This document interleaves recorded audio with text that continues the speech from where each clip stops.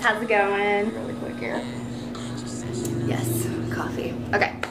So I'm gonna do something a little different today. Um, we're just gonna kind of chill, kick back and relax. I've always wanted to do one of these, but I've got a little bit of a story time video for you. I'm gonna kind of put a disclaimer here before I start. Uh, this is a video that does talk about Christianity. I am absolutely a Christian and um, I understand that might be a touchy subject, but if you want to click away, I absolutely understand. I really want to encourage you to stick with me, um, only because this is the kind of story that, you know, could be for anyone, um, specifically for like people starting out in college. Um, also, it's a story for any Christians out there that are watching that uh, may have heard of this before and uh, how to kind of be wary if this ever comes up to you as a situation. I hope you guys have a cup of coffee, a glass of wine, or something, because we're going to be here for a little bit. Got quite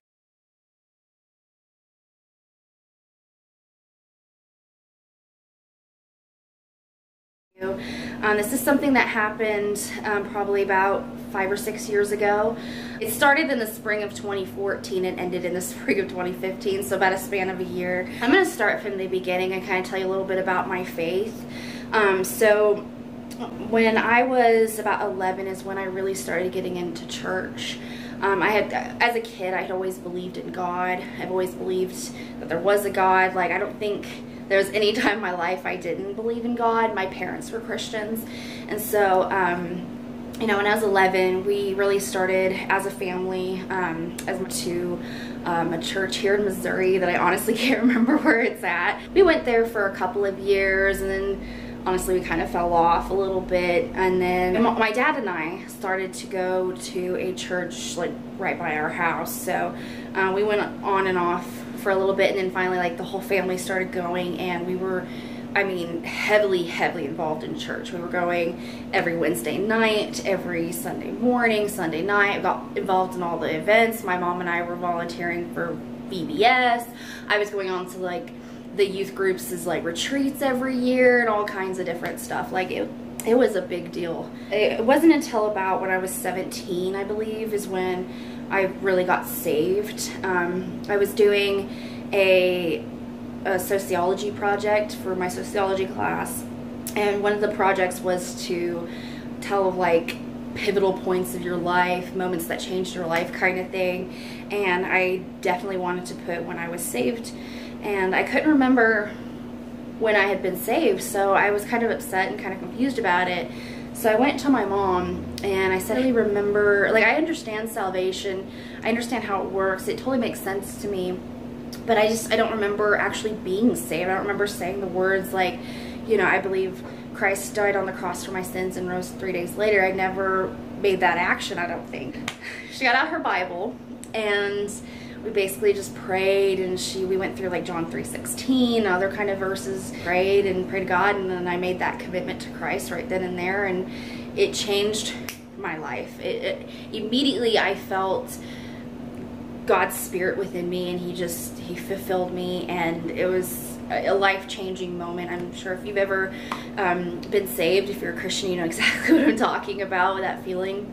And so um, you know from then on I kind of was just little church girl. I basically, all I cared about was church. All I cared about was Christian music, Christian books, Christian TV, Christian movies. Like I was a little bit obsessed in a weird way. I was really building my relationship with God and really getting deep and and really just committing my life to Christ. And so I graduated high school. Uh, we were living north Missouri and then we moved down south Missouri like literally the day after I graduated high school.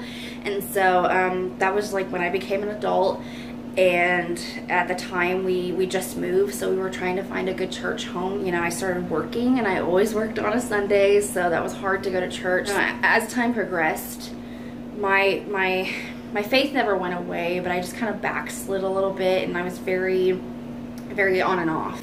Very I would be really great with God and really in the word really on fire and then I would just be about the next few years, I really struggled with that back and forth, back and forth. And fast forward, probably about 2014.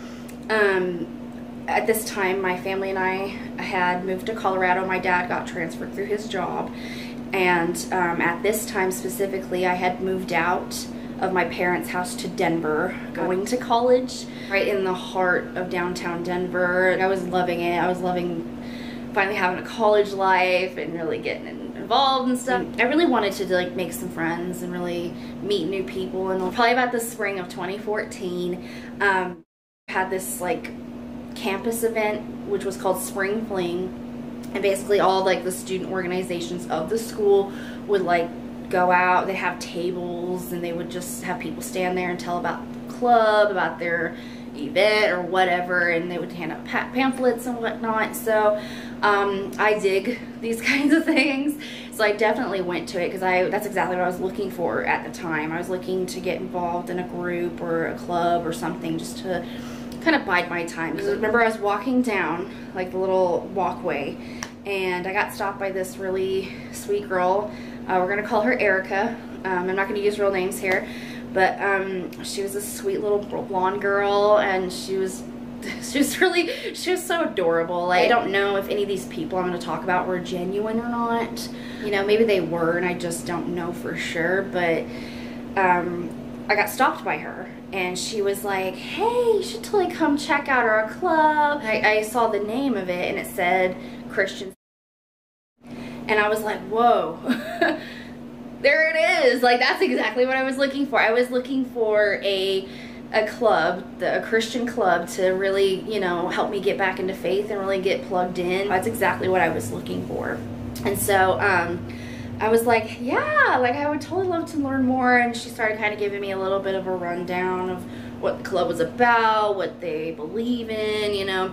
And I was told by several people at this table that they were strict by the Bible. They don't tear away from the Bible. The Bible is the absolute truth and that's what they go by. And I was like, that's that's exactly right. The Bible is the truth. This is what you go by. And so I was like, all right, I'm in, like, you know, and so um, it so happened that night they were having a, um, what's called a Devo night or a devotional night, which is basically like a game night and you go and um, there's an auditorium in our student union. We played like dodgeball or something. I, I can't remember what we played. But uh, I really, really liked it. And all these people were so nice. They came up to me and they were like, hey, who are you? You're new. Let's be friends. Let me get your number. You're so great. Blah, blah, blah. Really liking all the, honestly, was kind of liking the attention. Not going to lie. Uh, but I was really liking how nice these people were. And like, at the time, this didn't freak me out. Thinking about it, it was kind of crazy because this was love bombing and that's kind of like a cult-like feature, you know. And I was really liking this whole deal and I was like, you know, I think this is what I'm looking for. I think this is God's calling me here. I forgot to mention that uh, Church of Christ was the church they were backed by, which was a branch, I believe, of the ICOC or the International Church of Christ. Probably have heard those before. Uh, there's another one that's like it, which is called the ICC, and they are the International Community Church. They're pretty much the same thing, just with a different name. So, you know, I kind of did a little bit of research after I went to the Devo night, but very surface level. Like, I didn't dig deep or anything. I wish I would have, and you'll find out in the story later. But, um, you know, I was really, uh, I was really kind of elated about this whole thing. I was like, this is awesome. Like I definitely want to keep coming back. And so I did. Just to kind of give you a quick rundown of how like this church was ran and how it went basically was um, they have very various events specifically to the branch I was going, the club I was going to, they had Wednesday nights, which was midweek, which was basically like your run-of-the-mill like youth group night where you go and you listen to like a leader preach the word about something or you know it's like a little meeting and and then um, you know of course we have Sunday morning church like normal or a Sunday night church like normal. And then like throughout the week um, we'd have um, what's called Bible talks which is basically we'd meet in the union in the cafeteria and we'd have a Bible talk leader and they would basically talk about a, a, scripture, a verse, and then everybody in a circle would go around and share how they felt about the verse or what they think. Or, um, of course, Friday night was Devo night, which was like fun game night. Um, so that was kind of just like your basic, this is what we did. Um, there were two leaders. There was, um, I'm going to say Jessica and Mark is what I'm going to call them. Uh, Jessica was the women's leader, and then her husband Mark was the men's leader. Both of them together, they would basically were responsible for us, all of the events, the midweeks, all kinds of stuff. Um, and so um, Mark would always lead like the the sermons on midweek on Wednesday nights. So um, yeah, that was kind of a basic rundown. So um, you know, pretty pretty standard stuff. I started kind of going to midweeks and started to get a feel for how this whole organization worked and what they were all about, and I really liked it. And I was like, this is awesome. It was all sunshine and rainbows and all kinds of stuff. So um, I was then approached by a girl named let's call her Rochelle. uh, Rochelle was a really sweet country girl. You could tell she was um, raised in the church, very Christian, God-like minded girl. Um, seemed very sweet, loved to hang out with her. She had a very um, energetic vibe and I like those kinds of people and I just I wanted to hang out with her all the time and she was best friends with Erica the girl I originally met when I originally was introduced and she had another friend named um, Tara, let's call her. Um, Tara was a quiet little country, uh, also like a country girl, but she was into horses and you could tell she was very timid and, um, you know, uh, both, all three of them, Erica, Tara, and Rochelle were all friends and they all hung out together. And so, um, I believe Tara came up to me and said, hey, you know, you're really great. I really like you. You should come study the Bible with us. And I was like, yeah, I mean, I'd love to do a Bible study. I've done, um, I've grown up as a Baptist. And if you're a Baptist, you definitely know that like a lot of Baptist churches do like um, weekly Bible studies for like a youth group or a women's group. Like I've been to so many of those. And um, so I, I was like, yeah, definitely. I would love to come and study the Bible with you. This was a very innocent getting to know people type of Bible study, and I was very wrong. Um, when I showed up to the, the actual Bible study, I think we met at a Starbucks, and uh, it was basically like an introduction to like Christian faith and like salvation, all kinds of stuff. And I was like, I was kind of confused at first. I was like, you know, I don't mean to like be rude or anything here, but I just, I want you to know that I, I'll definitely do this study with you guys. And like, this is a great way to like recommit my life to God because that's definitely what I'm seeking. But, you know, I'm not here to like proclaim my faith or become saved because I've already done this. Like, I don't need to do it again. You know, they were very like, yeah, yeah, definitely. But I, I had the feeling that they just didn't get it or they were ignoring me about it because they were just like, well, yeah, you know, you still need to do this study. And I'm just kind of like, okay. like, you know, like, but it wasn't it wasn't like you have to do this study, we have to do this. It was just more like a, let's just do this study together, blah, blah. Basically, um, I did this study and um, I realized that, I later realized that you had to do this study uh, in order to get baptized and in order to do more cool things into this club. And um, like, maybe it's because I was in a sorority at the time, but it felt like I had to go through initiation to become like a member.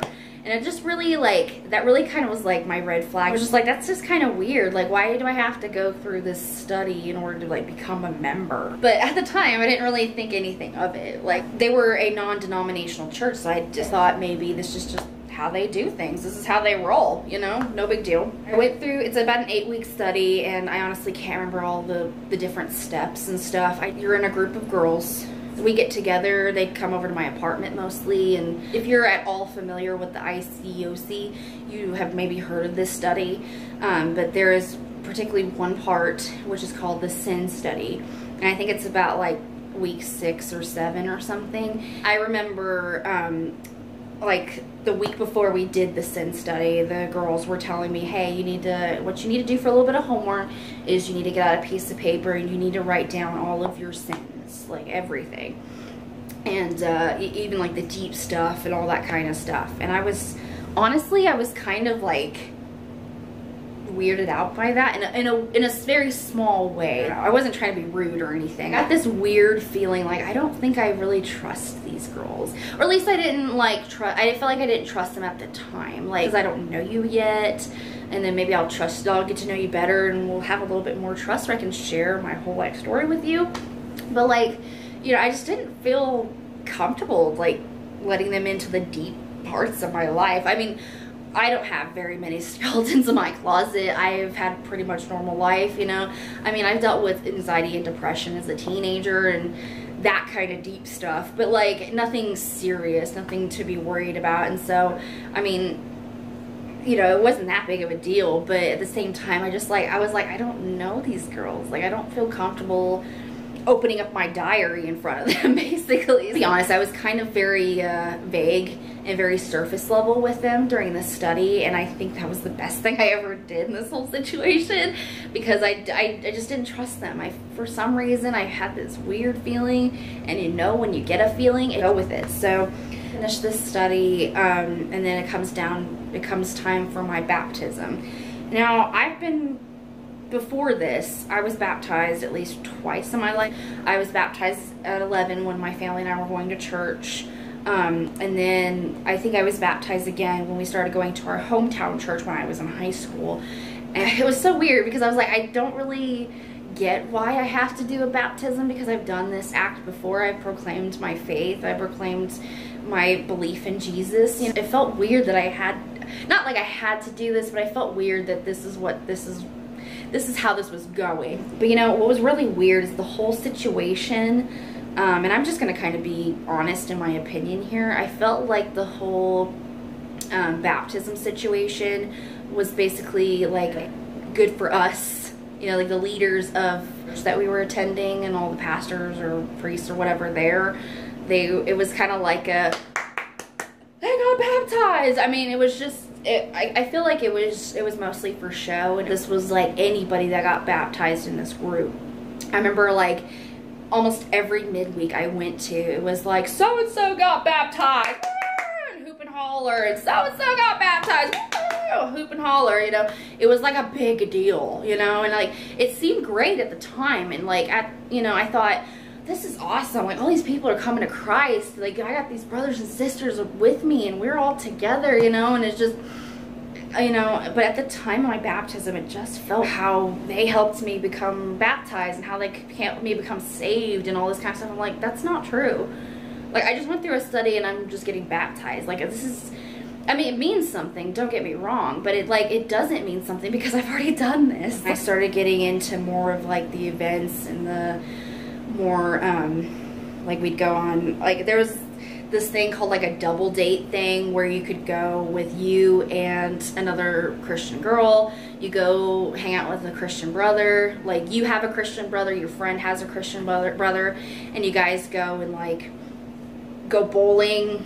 You go play board games. The, the one and only one I went to is where we went to somebody's house and we like cooked dinner and then hung out and played like Never Have I Ever or something like like a clean version of Never Have I Ever. And um, you know, the only way to like get to go do those kinds of things was like to be baptized and to go through this study. And I was just like, that's so weird.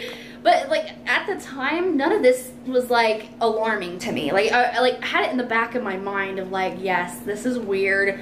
I don't understand this, but this is just how they do things. They're different. At this time, this is probably where it gets good in the story, um, is where I was assigned a discipler. Now, if you know anything about the ICOC, you know that any kind of new Christian that comes into the group are assigned a discipler. Now, a discipler is basically a mentor, somebody that you can go to to pray for you, encourage you. Um, you're having trouble, if you're struggling in your walk that particular week, or if you, you know, you just want to just talk about anything really. I later found out this was basically someone to keep tabs on you in a weird way. And um, let's call her Emma. Um, Emma was really cool. She was very kickback. She just kind of didn't really give a care in the world. And she used to hang out with Nikki a lot. And her Nikki were like besties and so I kind of started um, hanging out with their crowd a lot. It was basically like the honeymoon period. I was having so much fun. I was meeting all these different people. You know, I was really, I felt like I was on top of the world with this group. And so um, I think when it all really came crashing down um, was when I attended um, my Bible study leader's wedding. Now this wedding was I think in the winter of 2014 on to 2015 and um, I was personally invited by her because she was my Bible study leader. And um, I was really excited for this wedding because like I don't go to very many weddings. Like it was probably my fourth wedding of my life that I went to. And uh, I was really excited for her. I was really excited for you know her the man she was marrying and stuff. And it was it was awesome. But um when I got to this wedding it kind of changed um nothing bad happened and you know I'm gonna say this that I don't know the details of this wedding I was not in any kind of planning process I didn't know the girl's family. I didn't even really know the groom that well. So like I have no idea what really went down behind the scenes. This entire wedding was completely organized and ordained by the church. Like when I when I say that, I mean like the our women's leader she was completely responsible for the, like the bride's side of the entire wedding. And she was like you could see her with a little clipboard walking around making sure everything's all in place everything's going as planned and our our men's leader, he like married the two of them. And then I later found out Bible study leader had only known like the man she was marrying for like six months maybe. Uh, maybe it was longer. I really don't know. But it wasn't very long. And I'm like, that's kind of weird. Okay. Like, like maybe it's not weird because a lot of people just kind of do like a shotgun wedding. It's not a big deal. But like in a church kind of setting, it is kind of weird. It's the groom's like groomsmen were all his buddies from the church. And the bride, um, my Bible study leader, it was like her sister was a maid of honor, but her sister was already in the church with us. And then all the rest of the girls as her bridesmaids were like girls from the church. It seemed like there was this entire production of the church to make sure this wedding happened.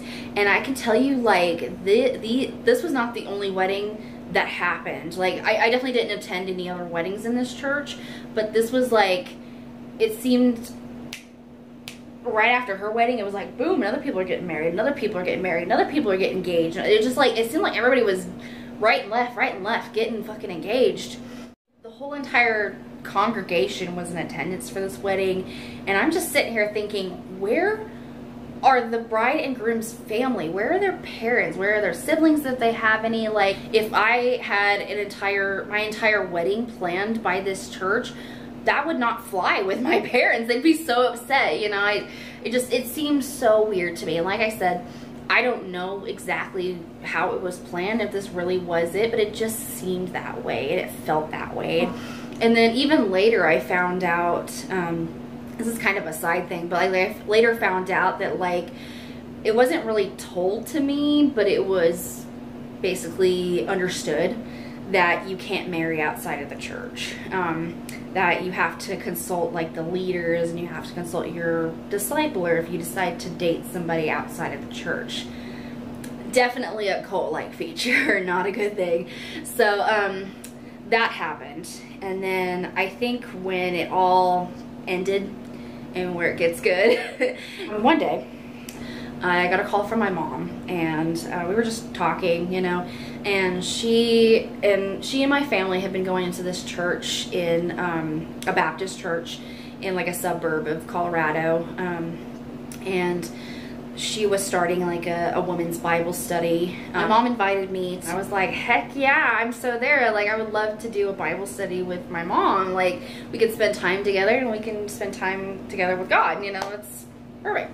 So um, I started to do that, but the problem was is that the Bible study was on a Wednesday night, which was also the same night as midweek. I was getting ready to go to the Bible study and I got a text from uh, Rochelle, uh, the friend, like the energetic friend that I told you about. She, uh, she was like, hey girl, can't wait to see you at midweek tonight. And I was like, actually, girl, I'm not gonna be there. Like, I'm gonna go to a Bible study that my mom invited me to at her church. And literally, without hesitation, the last thing, the next thing she texted me was, Aren't you gonna struggle if you go there, if you do that?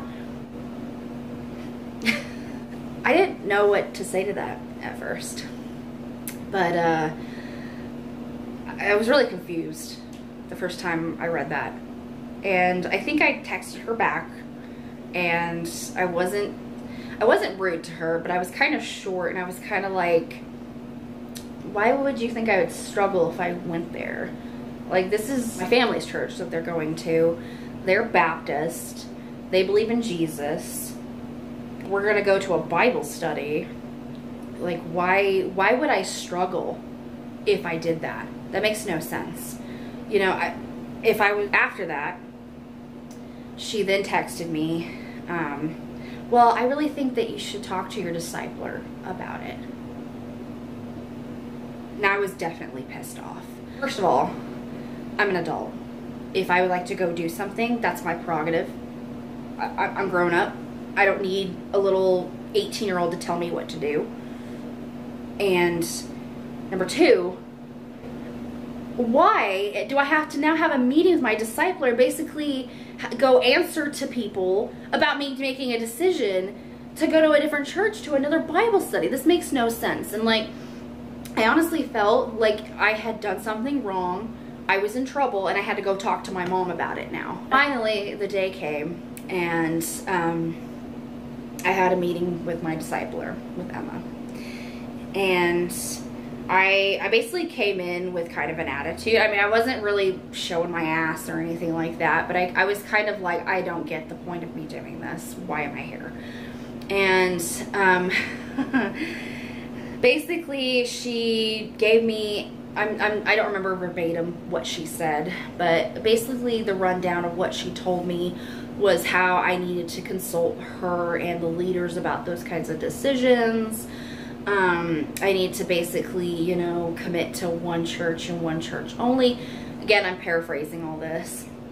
Um, you know, I need to really pray to God and figure out where I really want to be planted and yada, yada, yada. And then she tried to justify it all with some verses and yada, yada, yada. Where I go to church is not determined by people. It's determined by where God wants me to be. And so I really had a problem with that.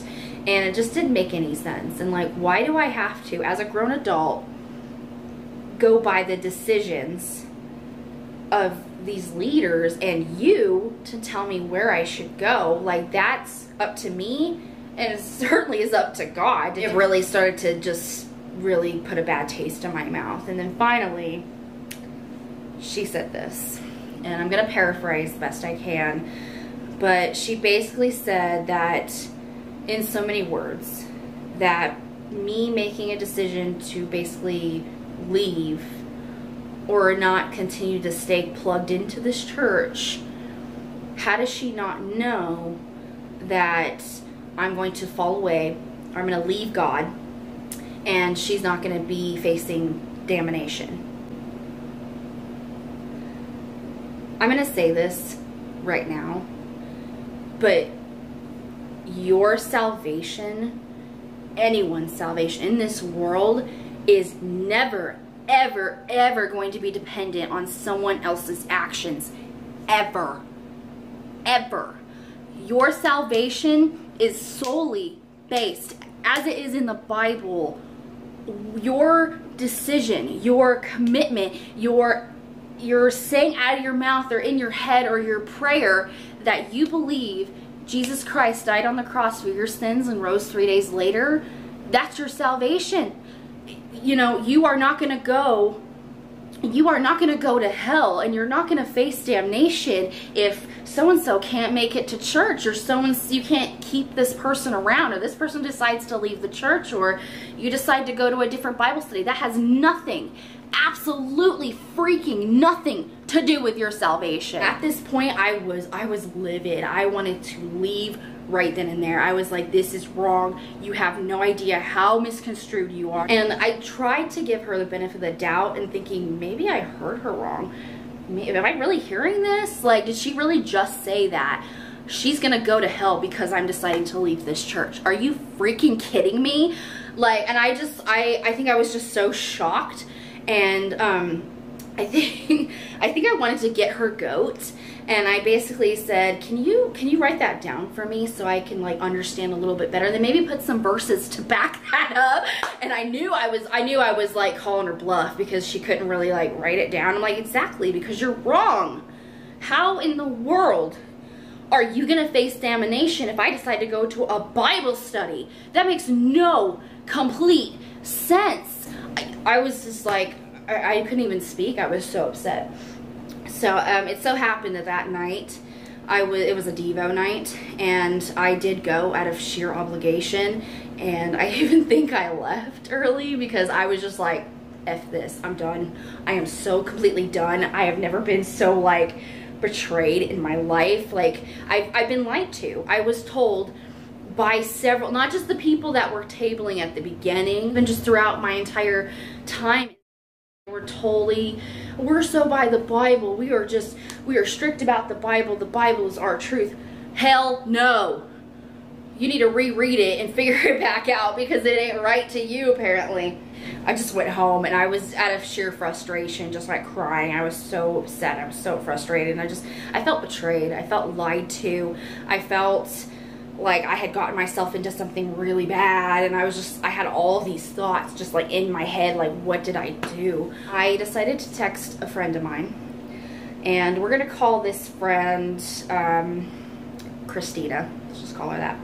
Um, I met Christina at my baptism. After I was baptized, a bunch of us, my friends, the other people, we went out like for froyo afterward and I met this girl named Christina and um, she seemed really sweet, really genuine. She was just, she was very high energetic and kind of eccentric, and I loved her for that. And but um, uh, Christina uh, was, she was at my baptism, but I had never seen her at like midweek or anything before.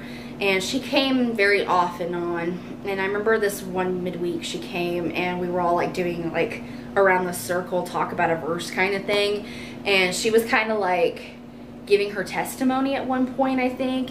And I soon realized that she was actually going to the church that my mom was having that Bible study at that my parents were going to. And so, um, I, at this point, like I had not seen her in a long time. I hadn't really talked to her.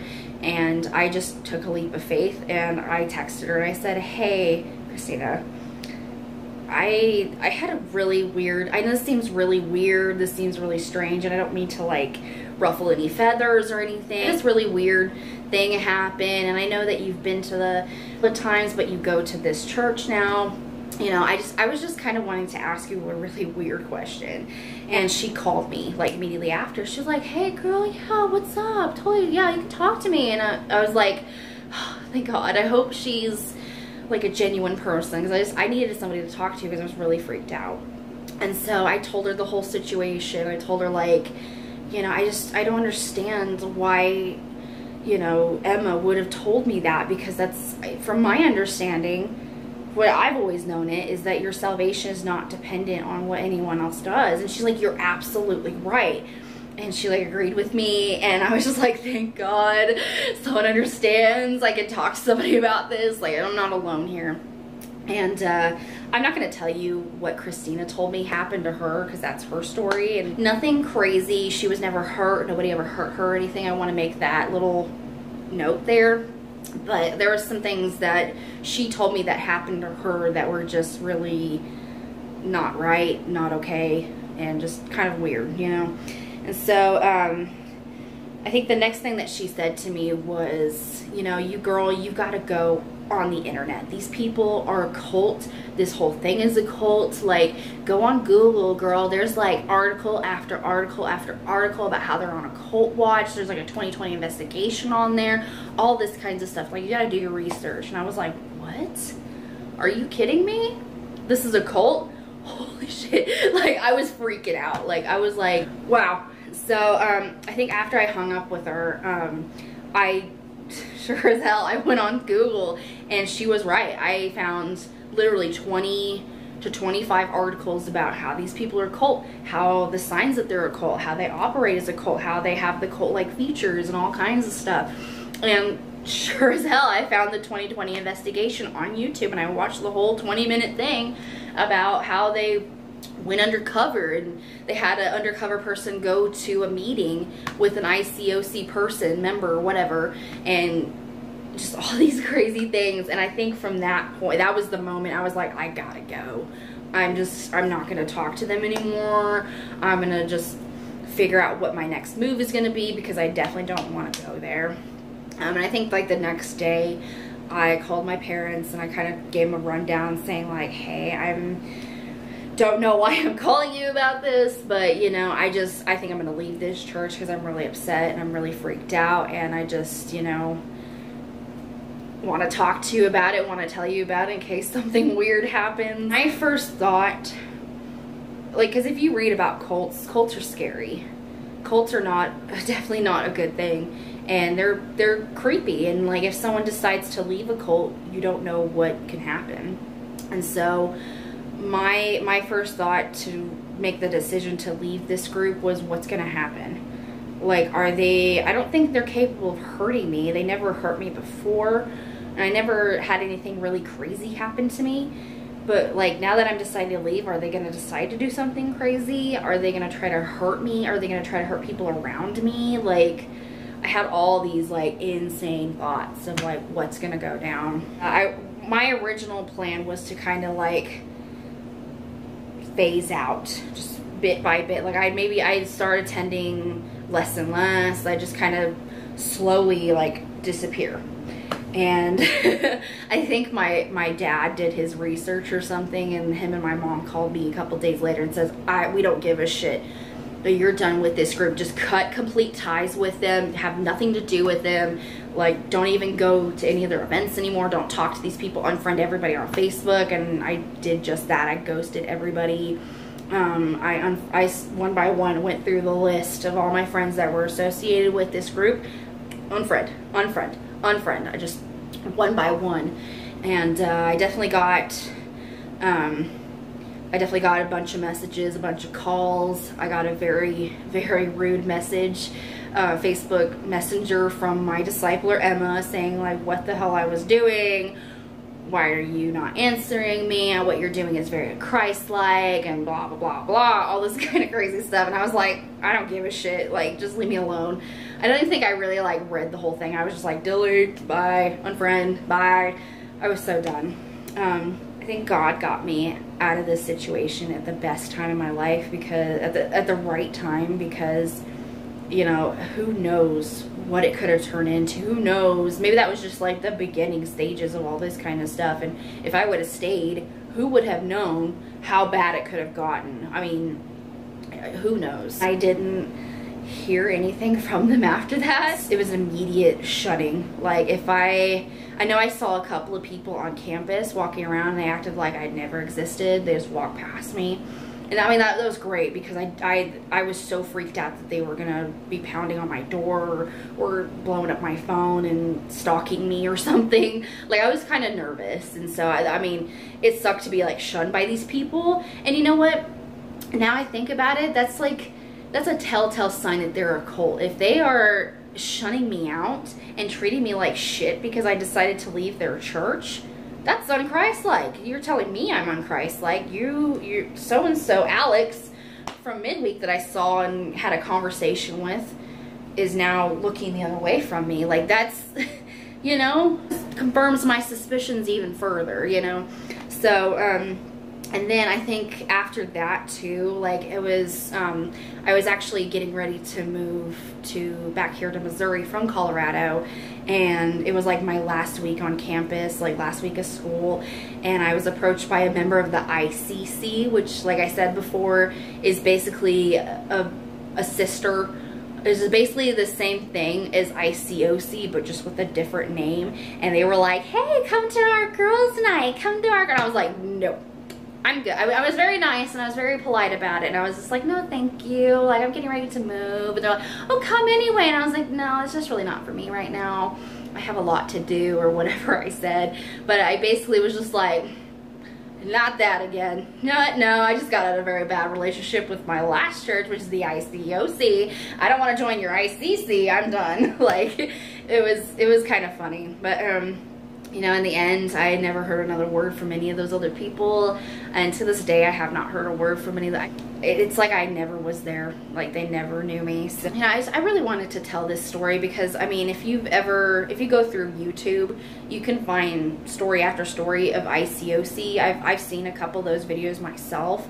And, you know, that a lot more people are coming out and speaking and saying how ICOC is a cult or their bad experiences of their time in the ICOC. Now, I I don't want to judge these people. That's not what I'm about. And you know what? I don't think that every single person in this group had a hidden agenda or was out to hurt me or out to be, you know, controlling or manipulative or whatever. I mean, some people definitely were. I think the leaders definitely were a part of this cult-like deal that was going on. But, you know, I don't, I don't think badly about these people. I don't think badly about my time because it was a really great time um, besides the bad stuff, you know. And honestly, like, it, it helped my relationship with God and it wasn't completely bad and I never was ever hurt. I never did anything crazy. I really pray for these people because I these are kids. These were like college kids that I met, kids that were my age and younger. They were just starting out college and like they're being fed these lies by perhaps the leaders, who knows, by this eh, by this whole organization, you know, and that they're being told false doctrine. They're being told false things and I just I pray for them and I want to encourage you guys to pray for them as well if you pray and that they're led to the truth and that they're led to what the Bible actually tells you. And I don't know anything about the ICOC as a whole, so yeah, I'm not going to judge the entire organization saying that that's all bad or they all got a hidden agenda or they are a cult. I don't know that for sure. And like I said, the the articles I read never specifically deemed them as a cult. They just said they were cult-like and they were on a cult watch a light word that I'm using here because it's not specifically what they are labeled. And, you know, maybe this was just a bad branch that I attended and maybe the ICOC, the whole is not that bad. I don't know any of that kind of thing. The only thing I do know is I was told lies. I was betrayed. I was told false doctrine and I did not want to be a part of it. And um, I'm really glad that I left and, you know, I, I wanted to tell this story to basically, you know, warn you if you've ever been approached by an I, ICOC member or, you know, you've ever been in a situation like this, like it's definitely something to be wary of and it's something to really do your research and really, um, you know, think about it before you get into it because, you know, it, it very well could not be the thing for you. Um, and it very well was not the thing for me. So um, I'm going to stop talking now because I think I'm losing my voice and I've been talking for an hour now. But I hope you guys really like this video. I hope this kind of gave you an insight to um, these kinds of situations. Thank you for letting me share my story and um, yeah, I hope you guys have a really great day and I will see you guys on my next vlog or my next blog post. Bye guys, have a great day. Stop, stop.